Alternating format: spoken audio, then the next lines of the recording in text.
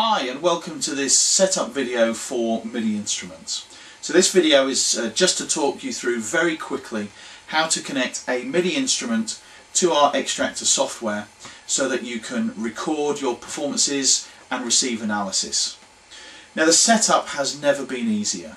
So for whether you're using a Mac, uh, which is the Xtractor version 3.8, or whether you're using Windows new version Xtractor X5, um, it has really, really never been easier.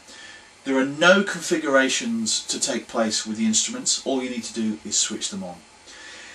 In terms of actually the connections that you're going to be using, all you need is a MIDI interface such as these, which has a MIDI in and a MIDI out for your instrument, and a standard USB plug to connect into your computer.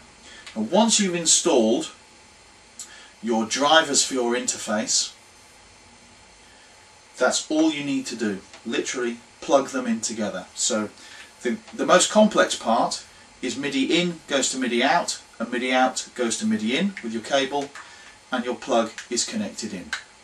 I will show you the setup box on our software in a video that follows this.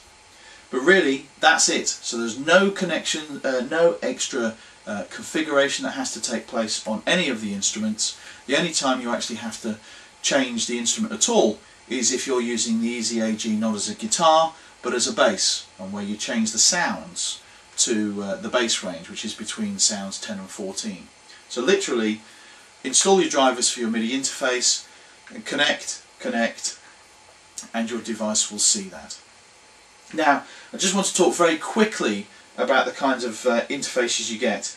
This is the Yamaha UX16 and it comes as a single cable and there are a lot of like a lot of these types of MIDI interfaces on the market. One which I use a lot is actually a MIDI interface box, the MOTU Fastlane, which you then have standard MIDI cables that you connect um, and you then connect a standard USB cable as well. So it's a box and then it comes with the cables. The reason I like this device um, is because it gives you two ins and two outs. So I quite often will have a couple of instruments connected to my computer at any one time. And as I will show you in the next video, you can choose and select which interface, whether it may be this one, or the Yamaha UX16, or port A or port B, to separate which instrument you want to talk to. So that makes it very easy to pass the information to and from different musical instruments. So that's it.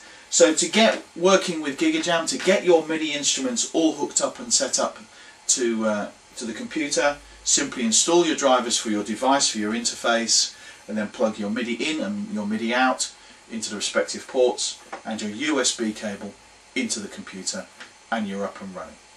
Okay, I hope that was useful. So come back and see me talking through the setup on the Xtractor in the next video. Thanks.